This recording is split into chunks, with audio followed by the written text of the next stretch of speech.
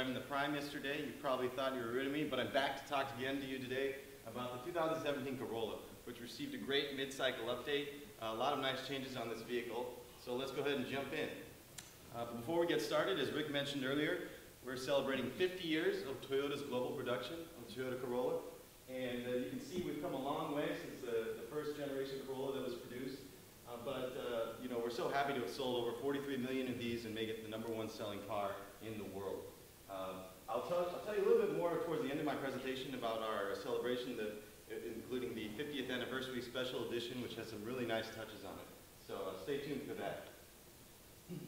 But let's jump into the product updates. So as we talked about earlier with Toyota Safety Sense, you heard it a lot today, Toyota Safety Sense P will be standard on all Toyota Corollas.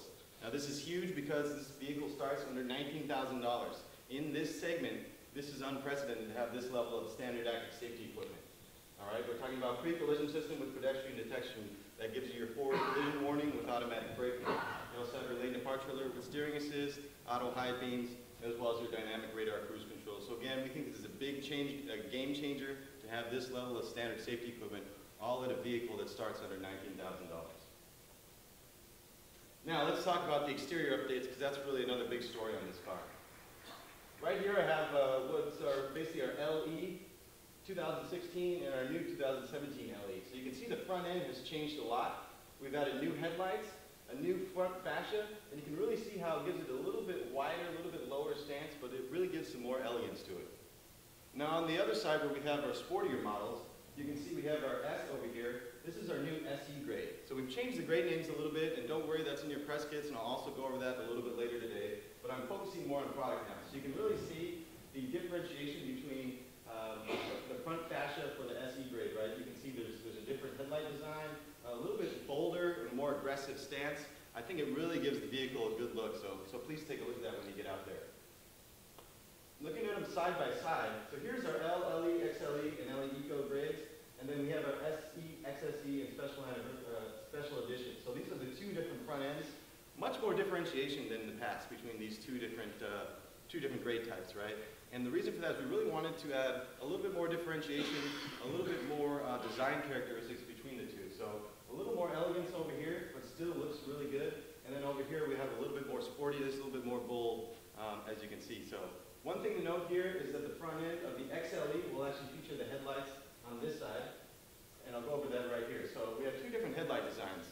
And uh, the, the, in 2014, when we launched the, uh, the, the, this generation of the Toyota Corolla, it came with the one headlight design which had a um, low beam LED headlights, and that was standard on all grades. Well, we've now added high beams. We have, we have all LED lighting in the front end, and really in the subcompact segment, standard LED lighting on the front end is, is also something that's really unprecedented. So our two different headlight designs, this one's more of a single lens where we have a multi-lens down here. You can see the grades set up and where they fall, so it looks really good, I think.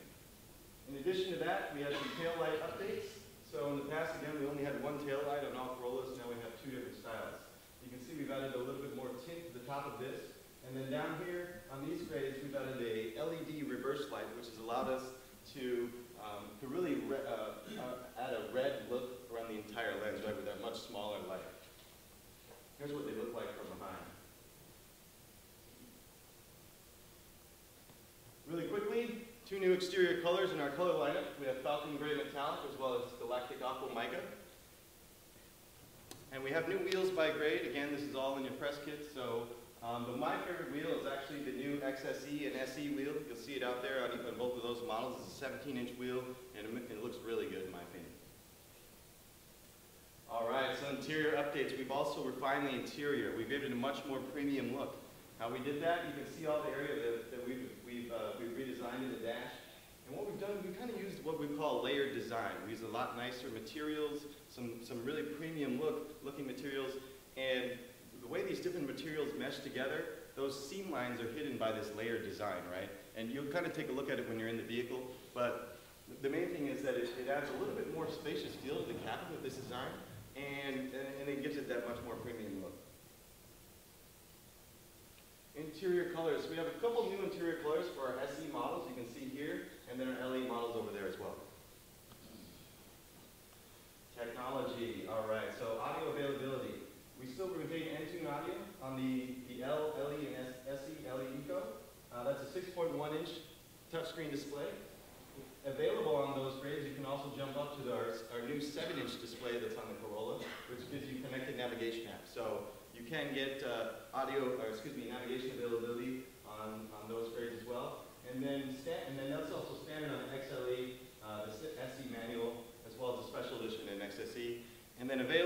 XLE and XSE for those that, that want the premium navigation system, we have our integrated navigation. Again, that 7-inch display. Uh, that also includes our Entune app suite. The multi-information display has been updated. So on the LLE and LE Eco, it's receiving the 3.5-inch screen, so that's, a, that's an upgrade for that. And then we have a new 4.2-inch full-color screen that's standard on all other models. Uh, this is another added benefit of Toyota Safety Sense P being standard. Uh, we needed to upgrade the MIDs to have uh, ability to manage some of the settings for, for Toyota Safety Sense, such as your lane departure alert. Um, there's different settings you can change with each of those. Um, but uh, you, you, you can ask us more about that a little bit later. But that's just another added benefit of adding TSSPs. You get a nice little, um, a, nice, a nicer MID to be able to use and manage your settings. Now performance, we maintain our same trusty and reliable 1.8 liter. In addition, the LE Eco model still has its Valvematic 1.8 liter, which has a little bit more fuel efficiency. On the transmission side, we still have the CVT. One thing to note is that the L model, the base grade, uh, used to have a four-speed automatic. That now will have come standard with the CVT, so upgrades there. And then the six-speed manual transmission is now only available on the SE. We actually do have one six-speed manual SE out there for you to drive, so uh, please feel free to, uh, to take that one out. Have a good time. Now, as I talked about earlier, we have a 50th anniversary special edition.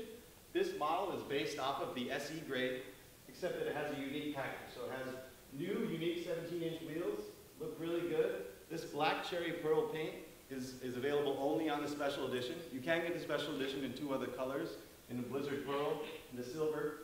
And, uh, but I really like the way that this black cherry looks. You can see we've added, uh, as I said, new wheels. There's badging both inside and outside the vehicle. Um, there's also some unique trim inside. It looks really good. We'll be, we, excuse me, we'll be producing about 8,000 units of these this year um, to really celebrate the 50 years of Toyota Corolla. So I think it's a nice package and a lot of people will really like it. Now grade strategy, as I talked about earlier, we've changed our grade strategy a little bit. Again, this is all in your press kit. I'm not going to go through everything here. But the main thing you need to know is that uh, we have LLE, and then we've added XLE as, uh, as what used to be kind of our LL, LE Plus, LE Premium.